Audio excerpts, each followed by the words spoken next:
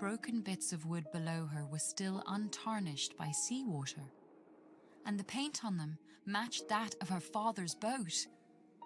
But if they were pieces of his boat, where was the rest of it? And where was he?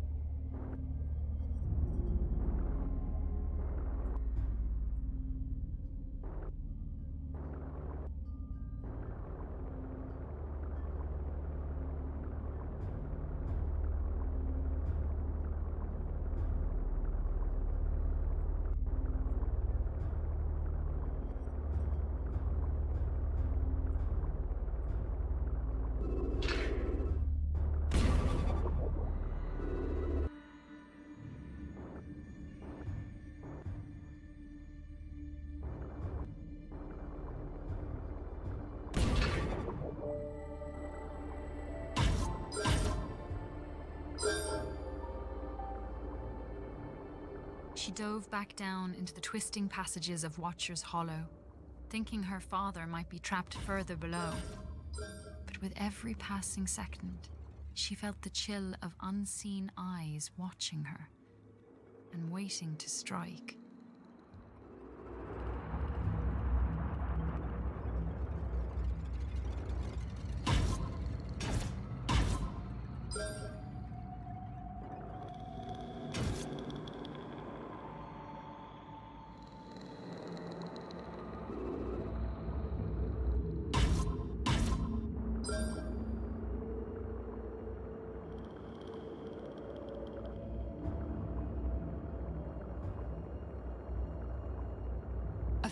Glove was caught on a jagged piece of rock.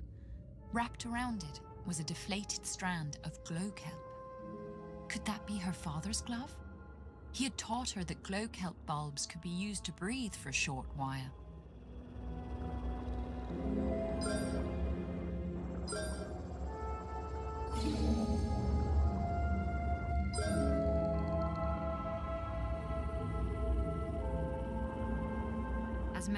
Entered the Watcher's lair, she saw a wriggling cocoon stuck to the wall. Her heart raced. Could that be her father?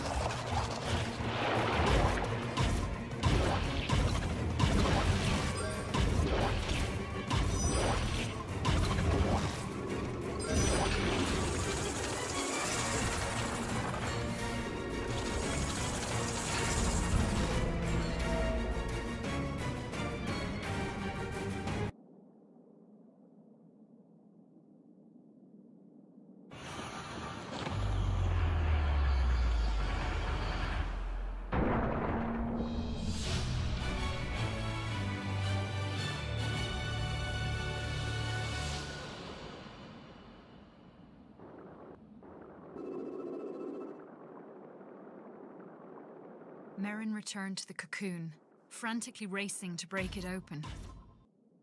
Her heart sank. It wasn't her father inside, just a funny looking little sea serpent, a baby leviathan. The little serpent swam around in circles, waving its tail as if to say, Thank you. Merryn tried to shoo it away, back to wherever it lived. But the odd little creature just followed her. The young serpent wanted to play. It swam back and forth, swishing its tail, trying to get Merryn's attention. Perhaps, she thought, doesn't hurt to have just one friend in the lonely depths of the sea. Swish. She would call him Swish.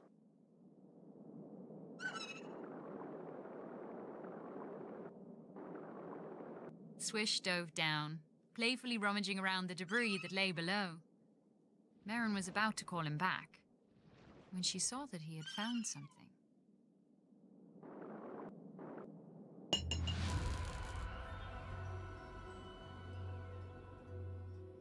Merryn looked over the curious contraption that Swish had found, trying to guess at its purpose. After a little work, she discovered a way to use it for channeling and projecting Tyne energy.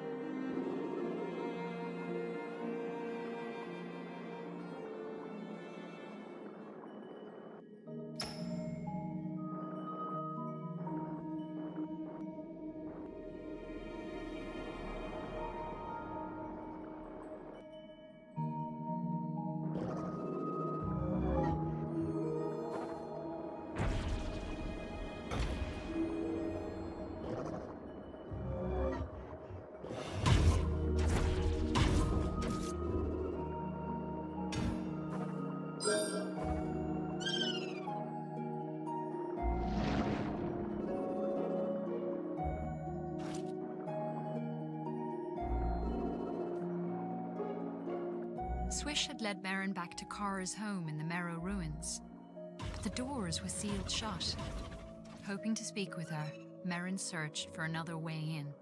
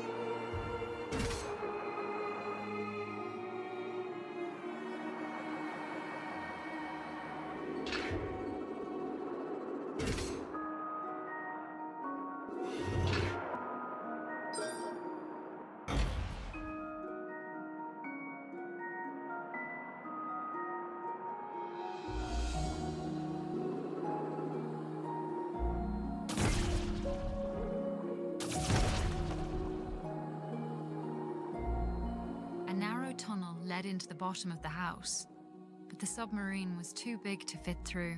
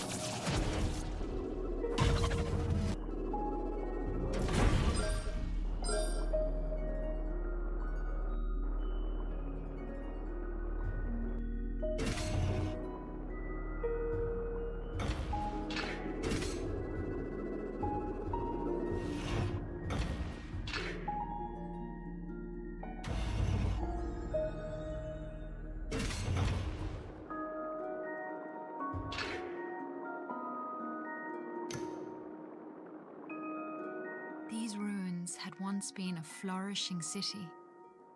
What had happened here? Where were all the Merrows now?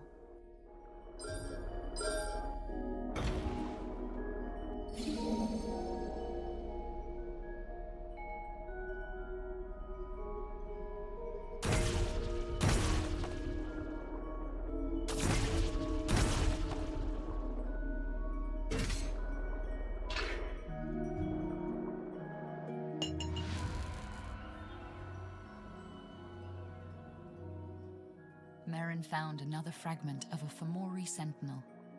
Each new piece would help her further strengthen her own vessel.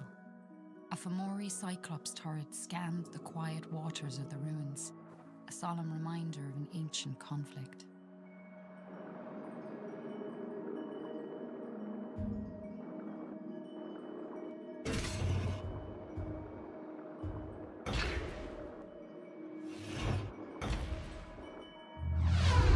Merryn had discovered an old diving suit. She put it on, and in a pocket of the suit, she found a striped seashell tied to a string. It looked just like the one her father kept above the fireplace. She tied the string around her neck, hoping the shell would bring her luck.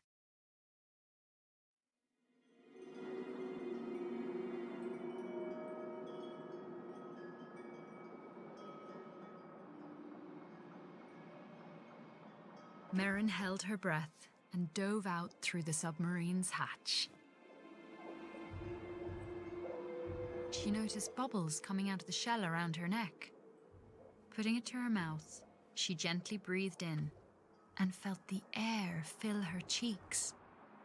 Were these the same shells that were once used by ancient explorers?